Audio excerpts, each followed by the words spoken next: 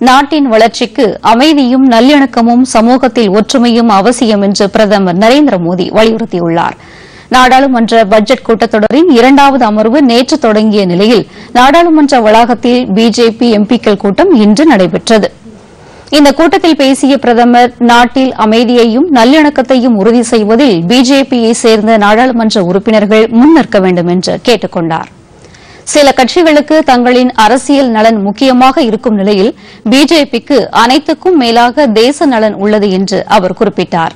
இந்த கூட்டத்தில் மத்திய உள்துறை அமைச்சர் அமித்ஷா பாதுகாப்பு அமைச்சர் ராஜ்நாத் சிங் பிஜேபி தேசிய தலைவர் ஜே பி நட்டா பிரதமர் அலுவலக இணையமைச்சர் ஜிதேந்திர சிங் உள்ளிட்டோர் கலந்து கொண்டனர்.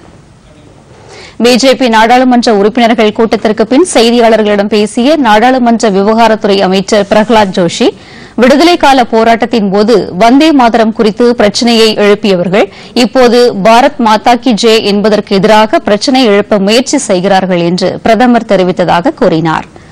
தில்லி வன்முறை சம்பவம் குறித்து நாடாளுமன்றத்தில் இரு அவைகளும் நேற்று பலமுறை ஒத்திவைக்கப்பட்ட நிலையில் பிஜேபி நாடாளுமன்ற உறுப்பினர்களின் இன்றைய கூட்டம் முக்கியத்துவம் பெறுகிறது.